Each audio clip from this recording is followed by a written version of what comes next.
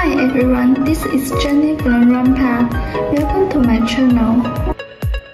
Today I will introduce you Child-Proof Tin Box. Child-Proof Tin Box is a specially designed container that ensures the safety of children by preventing accidental access to its contents. The child-proof tin box features a robust locking mechanism, and its durable construction with reinforced edges makes it virtually indestructible, ensuring that it can withstand the rough handling often associated with children.